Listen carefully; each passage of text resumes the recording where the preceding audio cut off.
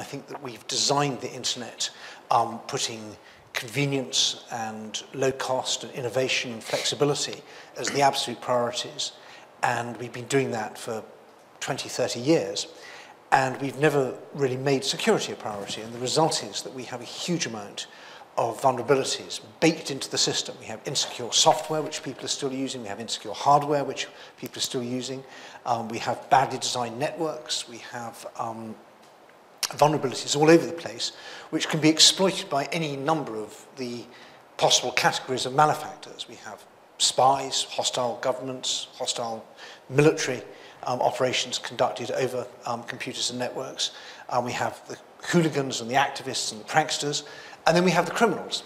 And although it makes sense to divide them up into those categories when we're um, looking at them as threat actors, um, many of the tools they're using are really similar. um, the zero-day vulnerability, a bit of social engineering, that could be used by anyone.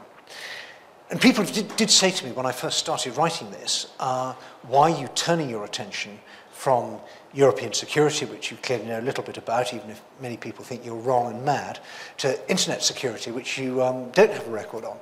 And actually, as, as I started researching this, I became more and more aware of the parallels that we built up a European security order at the end of the Cold War, basically with the Paris Charter onwards, that was based on an assumption of goodwill and trust, that we all basically get on, we may have our difficulties, but we can resolve them. And this rules-based security order, with very few sanctions, but a lot of cooperation and dialogue, um, will work for the indefinite future. And that's pretty much the way we set the internet up assuming at the beginning it was going to be for academic purposes. Um, we never thought about questions of identity and anonymity, and in, we never thought about e-commerce. It was actually against the rules, such as they were, to use the internet for commercial purposes um, back, back in the beginning. And if anyone had said back then, this is going to become the central nervous system of modern life, we're going to use it for all our vital messaging, for e-commerce, for banking, for our critical infrastructure, for all these things, a lot of those people in the early days would said, well, hang on, it's not really designed for that. Are you sure um, that you really want to go down this road? But we went down it because it worked. It was cheap, it was convenient, it was flexible, you could develop it. And so now we're quite stuck. And I think one of the first messages of my book is this is going to get worse and quite possibly a lot worse before it gets better. We've actually become habituated, accustomed to really serious breaches.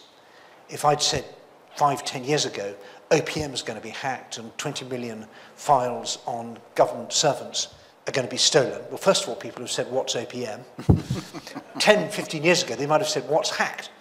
Um, but we have these breaches happening all the time now, to the point that it's actually quite difficult as a journalist, and I cover cybersecurity for The Economist, to get space to report this. My friends at the FT and other papers go to the news editor and say, Megacorp's just been hacked 10 million customer details gone, maybe the Chinese, maybe criminals, we don't know, all sorts of implications. And the response from the news editor in most news organisations is kind of same old, same old. Why is that different from the breach we ran a story about last week? So we've got used to the idea that breaches are normal, but actually they're not. Tens of billions of dollars a year are flowing out of our pockets into the criminal economy. Now, I'm very sceptical of the estimates that are made by cybersecurity companies because obviously they've got an interest in talking the threat up and also who really knows. But people are talking about $500 billion dollars a year and that's not just a, a loss to us. A large chunk of that is going into the pockets of some of the worst people on the planet, people who would like to do us harm in other ways. So I'm quite gloomy about that.